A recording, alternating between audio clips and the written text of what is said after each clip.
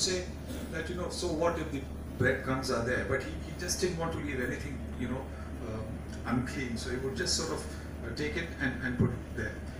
Anyway, while we are talking, suddenly uh, from, from the other end uh, um, leans back in his chair and, uh, you know, in his, in his uh, typical voice, uh, Polly, Polly, Polly Gaka, he was our manager, leans back and he says, Hey, Sunil, Sunil, hey, what they put the Minu game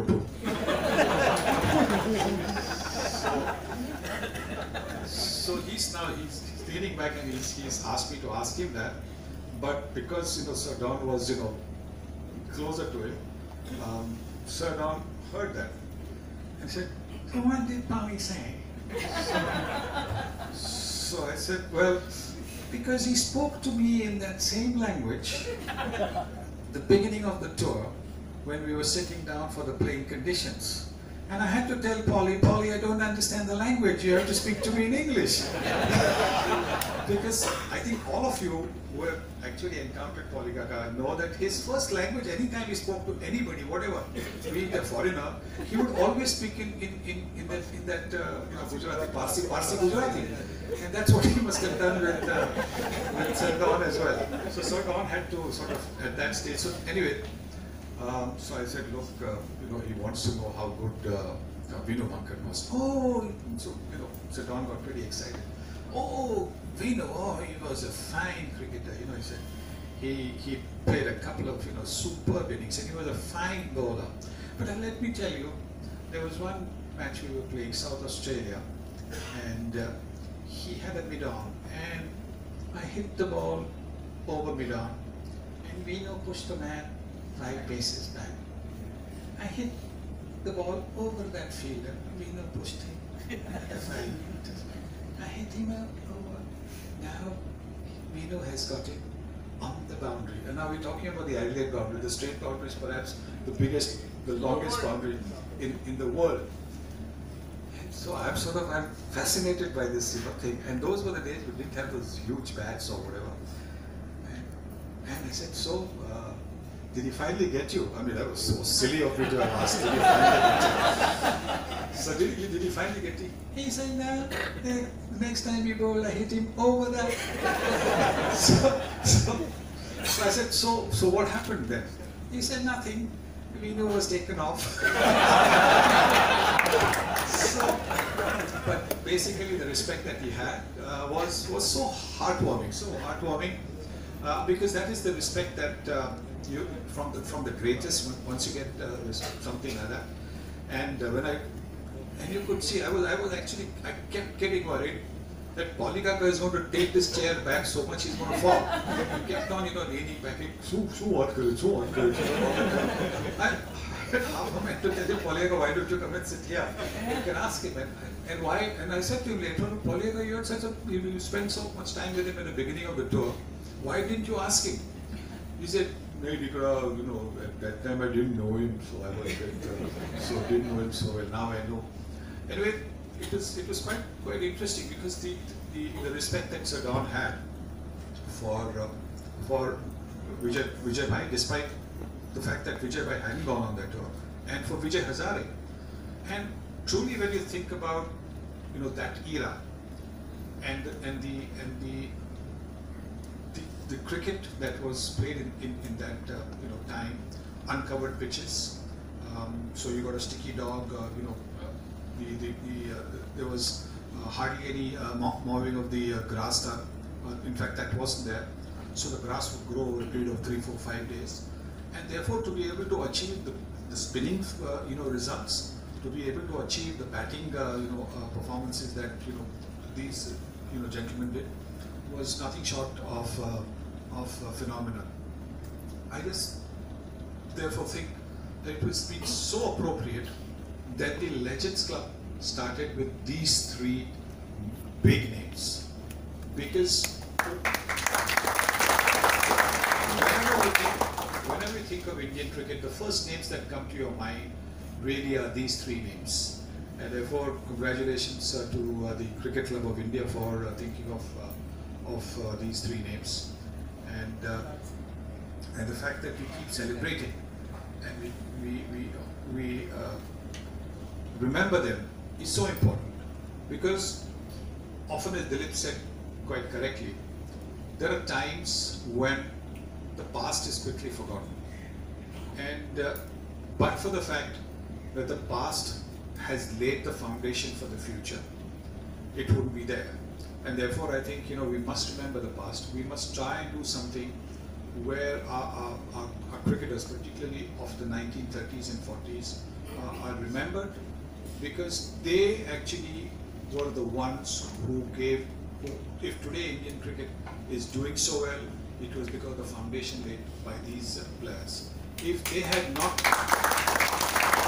when, when India started in the 1930s, if they had not played the way they did and sustained the interest of the Indian cricket loving public, maybe the game would have you know not been as big as it is today.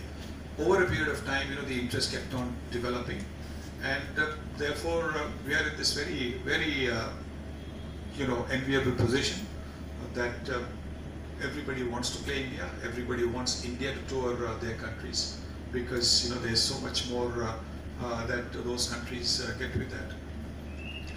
And I have to say about my friend Rahul. Now,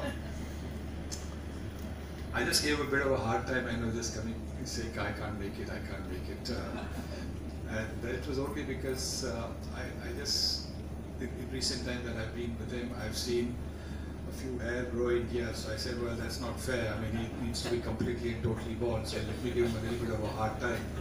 And uh, so we've been, I think, uh, uh, teammates. Uh, Ashok, of course, uh, was the senior man, uh, one of the funniest guys that I, I have come across. But he was petrified.